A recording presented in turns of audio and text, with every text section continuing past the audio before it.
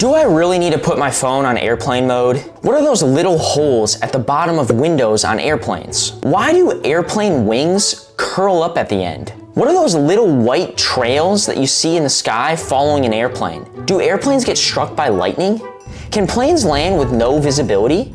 Today we're diving into the surprising truths behind common questions about planes, busting myths, and revealing what most passengers didn't even realize. So the inspiration for this video actually came from another video that I watched on a different channel called Veritasium. They did a great job of answering common questions that I didn't even know I had about planes. It's a great video and I would highly recommend going and watching that one. They do a great job explaining in detail the answers to all these common questions. I'll make sure to link it below. But this video then got me asking a bunch of other questions. Questions that I was eager to find the answers to. So I did quite a bit of research for this video to find out answers to what are probably pretty common questions, but are things that the average person just doesn't really know. I learned a lot from researching for this video, and hopefully you learn a lot throughout this video as well. Question number one, do airplanes get struck by lightning? Actually, yes, they do. And probably more often than you think. Commercial airlines on average get struck by lightning once to twice per year. According to the FAA, it is estimated that commercial airlines are struck by lightning once every 1,000 hours of flight time. I found this to be quite surprising, but you don't have too much to worry about being that modern day airplanes are built to withstand lightning strikes. Essentially, if your plane gets struck by lightning, that current is directed to the outside of the plane and then is released back into the atmosphere.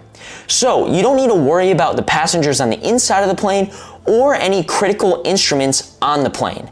That should all be protected by, you know, just modern technology and design in newer airplanes. So ideally, you don't want your plane to get struck by lightning, but you should be perfectly safe if you do. So no stress. Have you ever wondered what those little, you know, those little curls are at the end of airplane wings? Those little parts that kind of curl up towards the sky? Well, I was wondering, so I set out to find the answer. And those little curls are called winglets.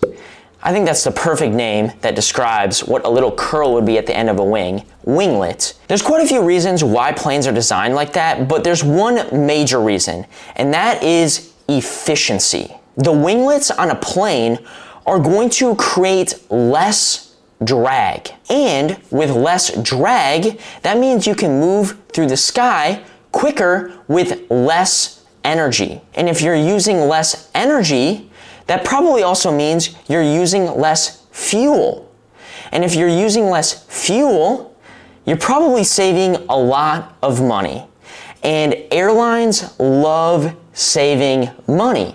So that's the main reason why winglets, or that little curl at the end of wings, are there.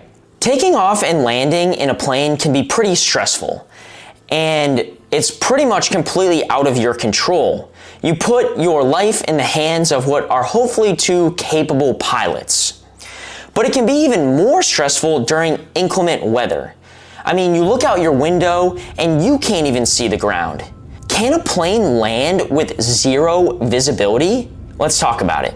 In short, the answer is yes. A plane can land with zero visibility, but it kind of depends.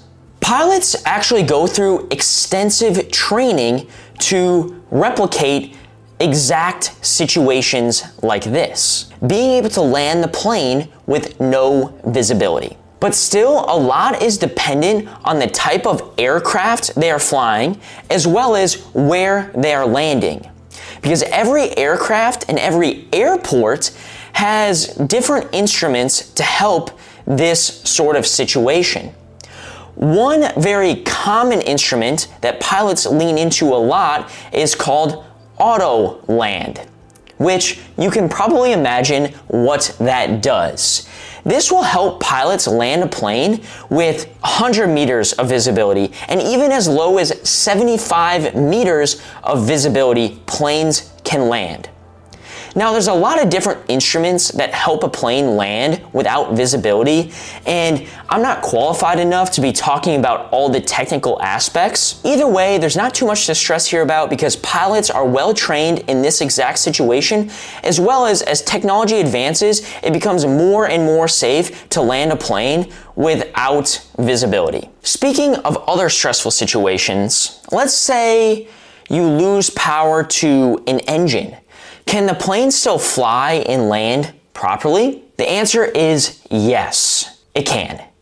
And pilots, again, are specifically trained on this type of situation to land a plane with just one functioning engine. Though I will say that these days this is not a very common occurrence with advancements in airplane engines and technology in general. So it's not something that you necessarily need to worry about, but if the rare does happen, the pilot should be able to land the plane safely. I'm a window seat guy. I love looking out the plane. I like to film out the window. And every time I look out the window, I notice that there's always this small little hole at the bottom of the window.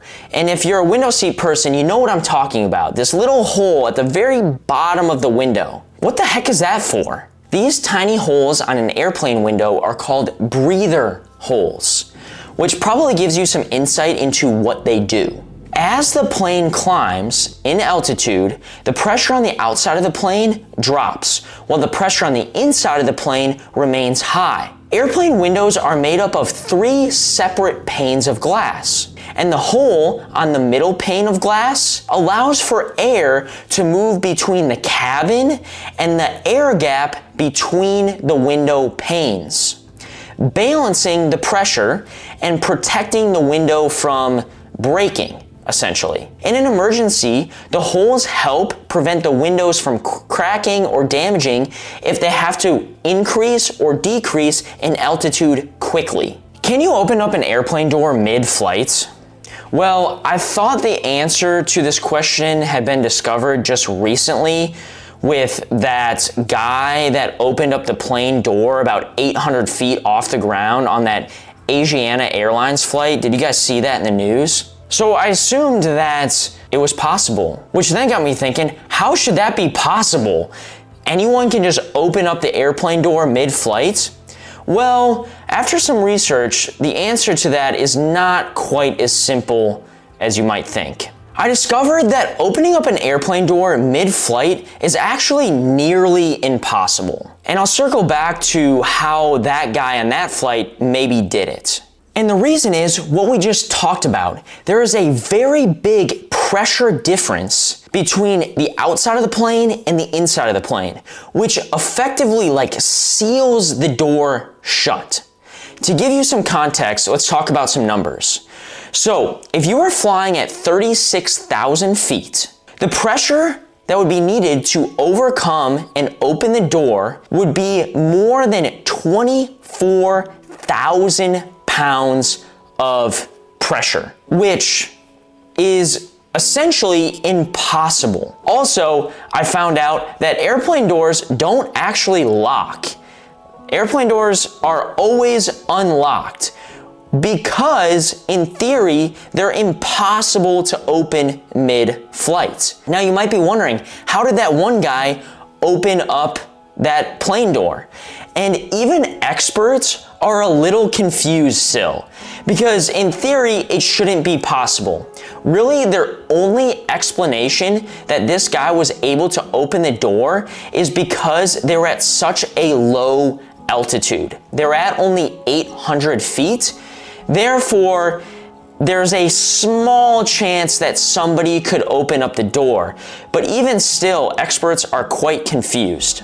Is there a difference in air quality depending on where you sit on the plane? Because I've heard before that if you sit near the front of the plane, you're gonna have better air quality than if you sit near the back of the plane. Is that really true? Well, I'll say this. Depending on where you sit on the plane, you might get different smells, but that doesn't necessarily mean that your air quality is gonna be different. For example, if you sit near the bathroom, you're probably gonna smell that. If you sit near where they're preparing food, you're probably gonna smell that. If you're sitting next to somebody that hasn't showered in three days, or even worse yet, passing gas, you're probably gonna smell that. In general, even with tons of people on the plane, as well as lots of different smells, the air quality on planes is really good. Being that the air gets completely recycled every three minutes. So to answer the question, no, it does not matter where you sit on the plane and what kind of air quality you're going to get. It's good to know that we're getting fresh air on planes, but we all know that airplanes are super dry. Bloody nose. And I recently heard someone say that airplanes are actually drier than the Sahara Desert. So I wanted to find the true answer to that question or if that was just somebody being dramatic. Okay, so here you go. Airplanes have a typical humidity level of about 20%, whereas in your home, you have a average humidity level that sits right around probably 50%. And the Sahara Desert sits at right around 25 to 30% humidity levels. So, in fact, an airplane is drier than the Sahara Desert. And that's probably why you always feel a little bit of a scratchy throat or a dry nose or dry eyes when you're flying.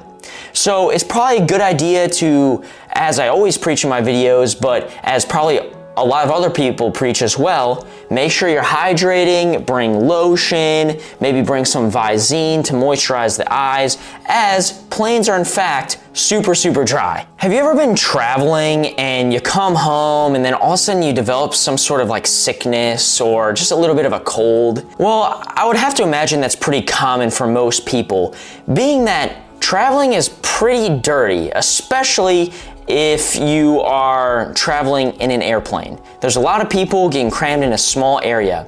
So I was curious, what is the dirtiest or germiest part of the plane? I want to hear your guess down in the comments. Let me know, what do you think is the dirtiest part of an airplane? Well, as you can probably imagine, the dirtiest parts of planes are the parts that get touched by the most hands and bodily fluids.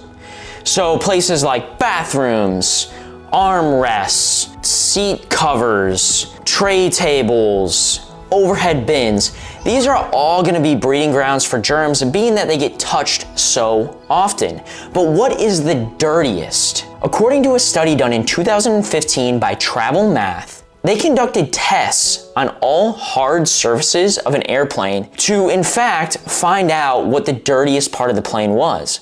And they found out that tray tables are the dirtiest part of an airplane. Tray tables had more than eight times the amount of bacteria per square inch than even the flush on a toilet in an airplane bathroom. That kind of blew my mind. So I would recommend before you lay your head or your food on that tray table, you might want to give it a little wipe down, a little disinfectant wipe. Might not be a bad idea. Have you ever been looking up at the sky and see a plane flying, but also behind it, there's kind of like this white trail, almost like a cloud, a white cloud that kind of follows the plane? Those are called condensation trails. And if you've ever noticed, you've probably only seen them on planes that are flying really, really high up. And that is because planes need to be at a certain altitude for this to happen, usually greater than 20,000 feet. There are really three things that you need